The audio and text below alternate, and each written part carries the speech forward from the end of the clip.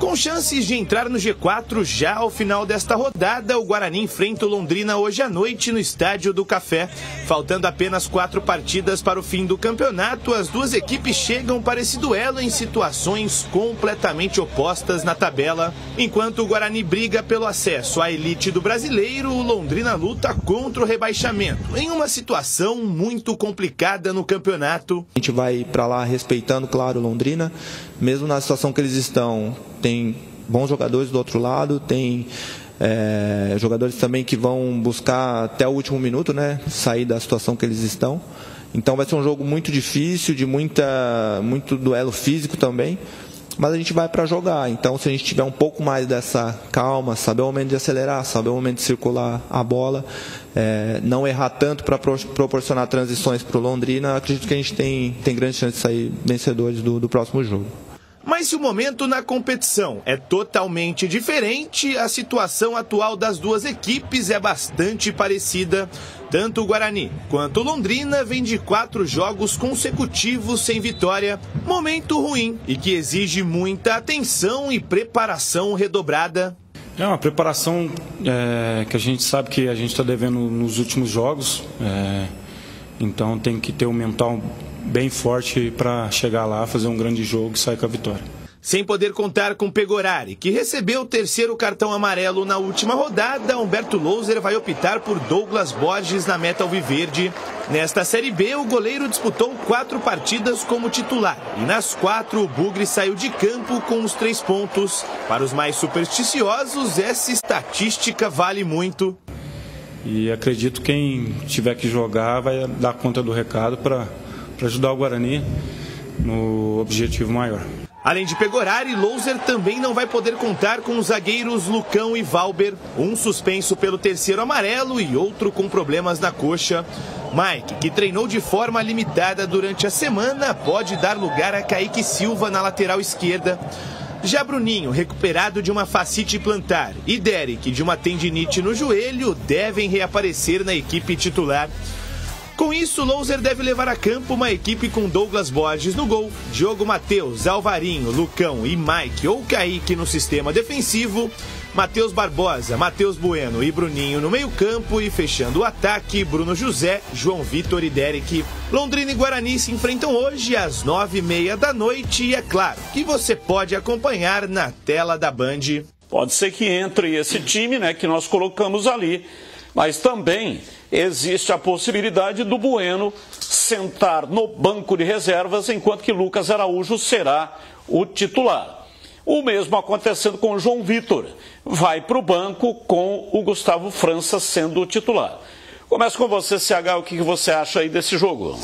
Tem dois componentes, pensando tudo aquilo que a gente ouviu na, no pré-jogo, nas matérias preparadas pelos nossos companheiros.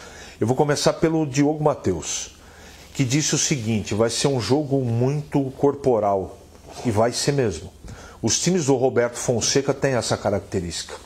Jogo de ficar picotando toda hora. Sabe, falta técnica? Luxemburgo fala muito isso. Falta técnica, picota o jogo quando está sem a bola toda hora. Essa é a característica do, do trabalho do Roberto Fonseca e deve ser esse o expediente do jogo. No lado do Guarani, existe um problema que a gente não pode eu vou chamar de problema, porque apesar de não gostar muito, vai mudar a característica, que é do goleiro. Se o Londrina resolver marcar a saída de bola, o Guarani não vai ter a saída de bola normalmente que tem com o Pegorari, com bola no chão. Isso significa que o jogo muda. É bola quebrada enquanto o Londrina estiver marcando alto a todo instante.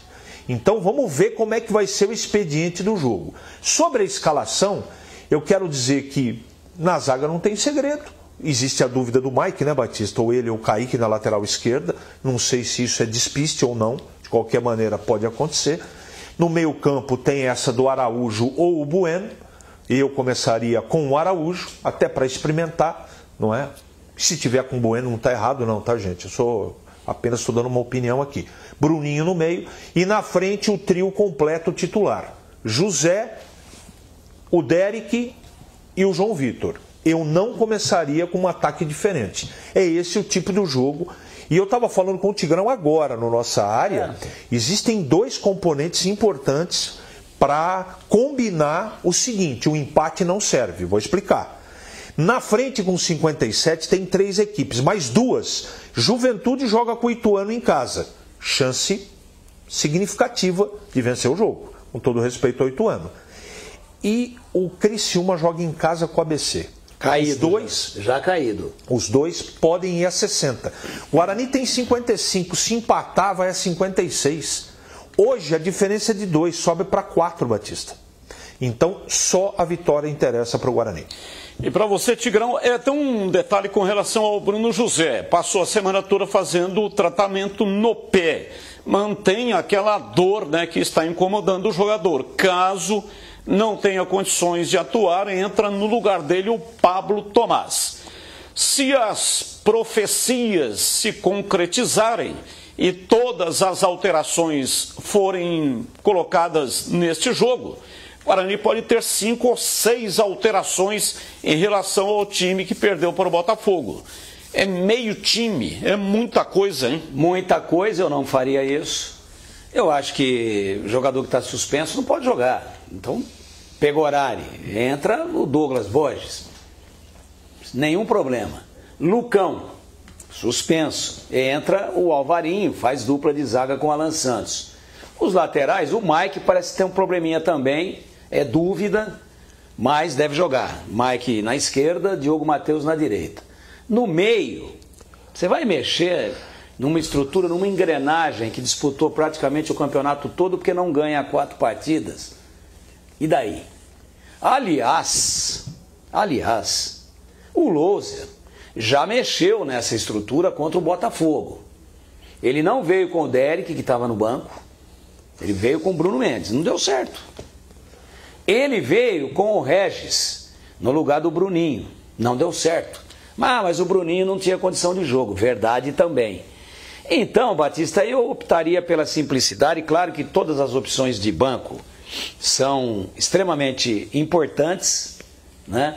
São opções de banco que podem dar um novo, uma nova fisionomia até tática para o time, mas tem que esperar. Eu começaria com quatro alterações com relação aos 11 que iniciaram contra o Botafogo de Ribeirão.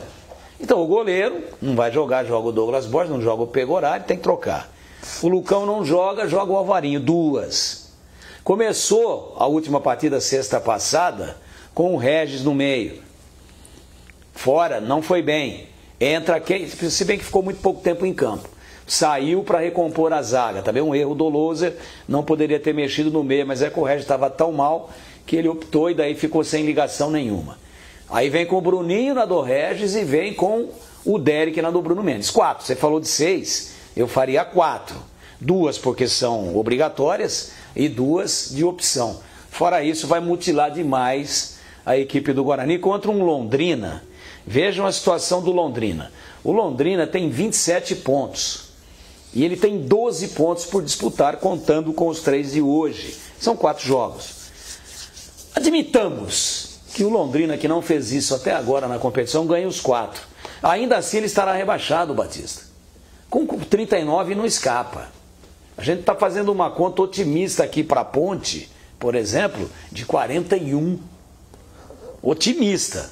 39 não escapa. Só que, como Londrina matematicamente ainda pode dizer que não caiu, ele vai para cima do Guarani. Vai ser um jogo duro, dramático, terrivelmente difícil e cabe ao Guarani transformar o jogo num jogo fácil. Como que se transforma esse jogo num jogo fácil? Abafando Londrina de sair e saindo na frente.